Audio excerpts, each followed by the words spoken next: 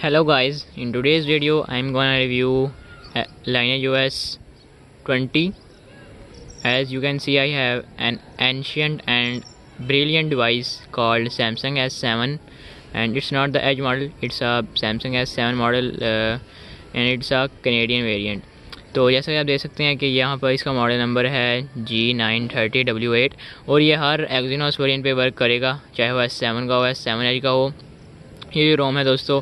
Lineage OS S ट्वेंटी। ये दोस्तों एक्जीनोस वेरिएंट के लिए आया हुआ है, सिर्फ़ अभी कॉलकॉम के लिए नहीं आया। तो आइए वीडियो में से हम इसका रिव्यू करेंगे। तो सबसे पहले दोस्तों, मैं बता दूँ आपको रोम की इन्फॉर्म थोड़ा बता दूँ ये है line O S twenty. Lineage O S twenty twenty point one है। या कौन सा है? देखते हैं, चल के। अच्छा देखिए एंड्रॉयड थर्टीन पर सबसे बड़ी बात दोस्तों, ये एंड्रॉयड थर्टीन पर ये, इसकी बिल्ड जो है ना, ये एंड्रॉयड थर्टीन की रोम है। सबसे पहले दोस्तों, ये एंड्रॉयड ऐसे एम के लिए सबसे पहले एंड्रॉयड थर्टीन की रोम है।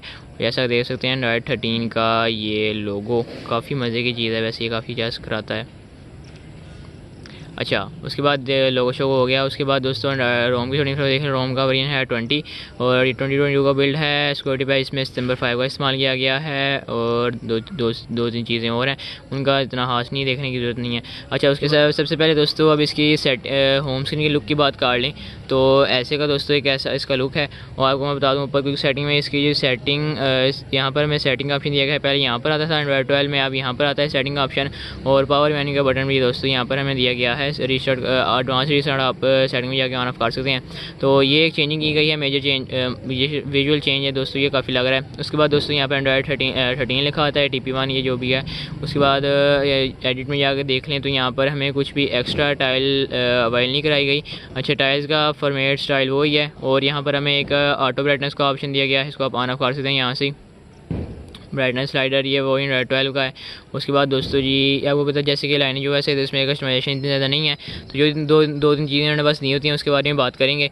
उसके बाद दोस्तों, इसके लॉन्चर की बात कर रहे यहाँ पर उन्होंने लेने जो है, उसका लॉन्चर इस्तेमाल किया गया है। उसका नाम कोई अजीब सा ही है, पता नहीं क्या है। अच्छा लॉक लॉक लेआउट को आप ऑन ऑफ़ कर सकते हैं। दो तीन सेटिंग यहाँ पर दी गई है, इनमें कुछ इतना हास नहीं देखने के लिए। विज़िट में जाके देखें तो यहाँ पर दोस्तों हमें विज़िट का ऑप्शन मिल जाता है। अगर अच्छा यहाँ पर हमें सबसे ऊपर एंड्रॉइड थर्टीन का स्ट्रैक मिल जाता है।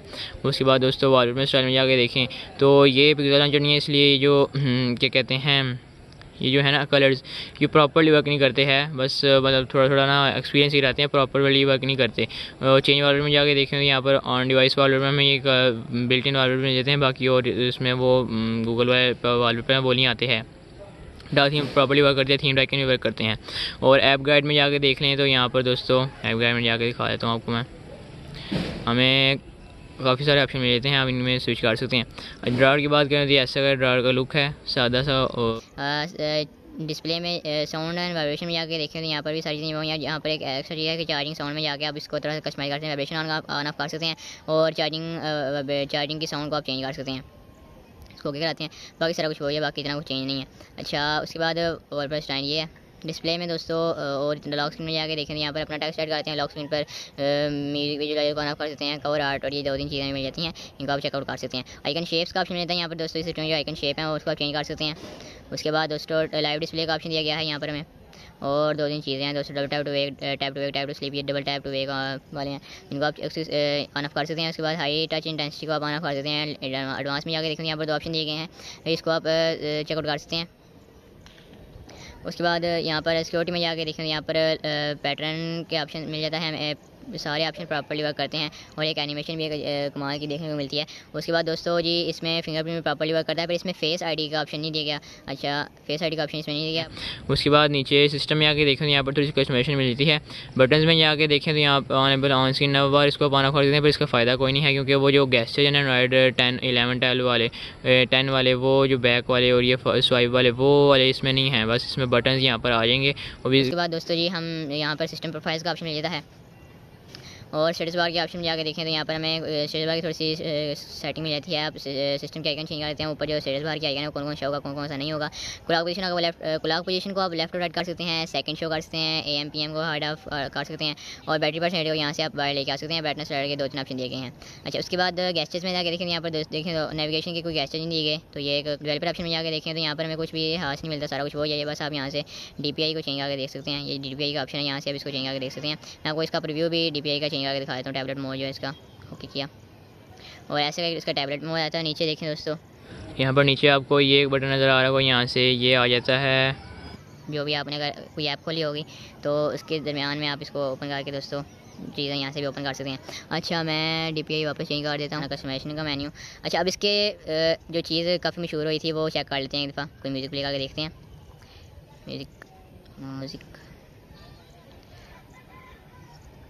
ये देखें दोस्तों, ये चीज़ एंड्रॉइड थर्टीन की काफ़ी ज़्यादा वायरल हुई हुई थी, ये काफ़ी मज़े की चीज़ है वैसे। इसको आप यहाँ से आगे पीछे करते हैं। जब आप आगे पीछे करते हैं, तब वो स्ट्रेट हो जाता है जब चाल हो जाता है ऐसे ही होता है। मतलब ऐप्स की बात कर लें तो यहाँ पर डने जो है जैसे कि बिल्ट है तो ये वनीला बिल्ट है। उसमें मैंने जी फ्लैश की थी तो यहाँ पर मैं गैलरी में जाती है म्यूज़िक मिल जाता है फाइल्स मिल जाती हैं और दो तीन चीज़ें मिल जाती हैं, मैंने वो डिसेल की हुई हैं। तो ऐप्स मैंने ये ज़्यादातर अपनी की हैं गूगल की तो मैंने बस यहाँ से प्ले स्टोर का फ्लैश किया था निक जी मैंने फ्लैश निक जी मैंने फ्लैश किया तो आप भी वही फ्लैश कीजिएगा।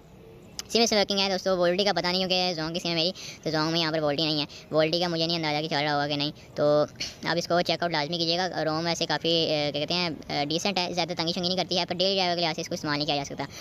और दोस्तों अब इसके दो तीन डाउनवर्ड की बात कर रहे हैं तो मैं सबसे पहले बात दूँ ये जो रोम है ये सेफ़ नेट के सेफ़ नेट को पास नहीं करती है। अभी फ़िलहाल मेरे पास इंटरनेट नहीं है पर हम्म, से सेफ्टी नेट को मैंने चेक किया था ये सेफ्टी नेट को पास नहीं करती। मतलब अब इसमें कोई भी पेमेंट आप इस्तेमाल नहीं कर सकते अगर कोई ऐप मैंने सादा पे किया था तो वो कहता है डिवाइस रूटेड है नया भी, भी कहता है डिवाइस रूटेड है कंटिन्यू करने के नहीं। तो ये डेली ड्राइवर के लिहाज से रोम जो परफेक्ट नहीं है और बैटरी बैटरी का इशू नहीं है बैटरी ठीक ही चल जाती है। और इसमें कैमरा भी दोस्तों यहाँ पर दिया गया है। इसमें भी बिल्कुल सादी चीज़ें आप इसमें जी कर सकते हैं। और डाउनग्रेड इसका यह है कि दोस्तों, आप इसको डेली ड्राइवर के लिहाज से इस्तेमाल नहीं कर सकते, क्योंकि इसमें थोड़े से बग्स भी हैं, क्योंकि जब मैंने इसको जी एप्स इसमें फ्लैश की थी ना वनीला बीट थी जी एप्स मैंने फ्लैश की थी तो पहली दफ़ा वो सीधा नहीं से चल रहा, इसको मुझे फॉर्मेट करना पड़ा था आपका डाटा लॉस हो जाता है तो बैकअप ज़रूर कीजिएगा इसको करने से पहले। और इसको डेली ड्राइवर के लिहाज से इस्तेमाल ना कीजिएगा, बस आपने अगर चेकआउट करना है इसको थर्टीन को सेवन के लिए सेवन के अंदर, तब इसको लाजमी ट्राई कीजिएगा।